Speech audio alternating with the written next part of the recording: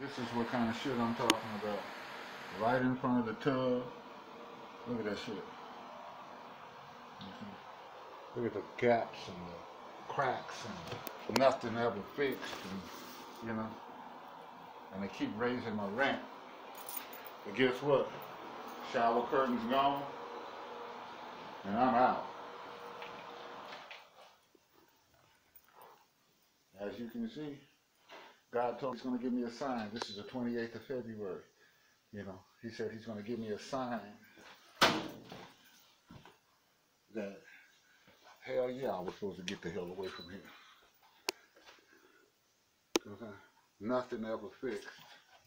And they're going to try to say that I did something. I didn't do anything. That's how it was when I moved in. I never touched anything.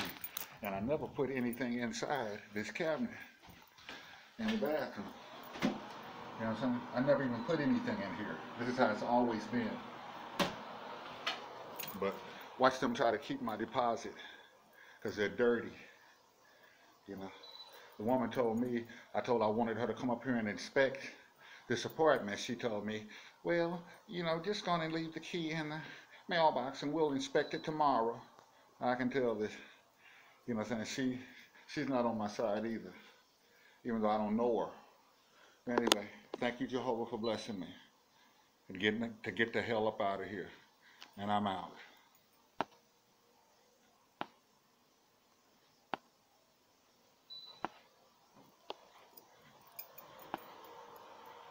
Nasty, filthy bathroom. Some of the gun.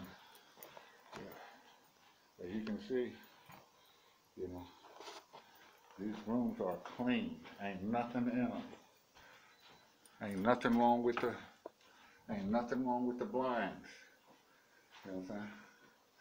I know they're gonna be trying to say some bullshit, cause that's what they do. Ain't nothing wrong with the blinds. You can see as plain as day that there's nothing wrong with either of those blinds. Well, I got it on another picture. Well, I don't trust what they're gonna say. Anyway, I got my guitar box and it's time to go. Thank you, Jehovah. I know it's time to go.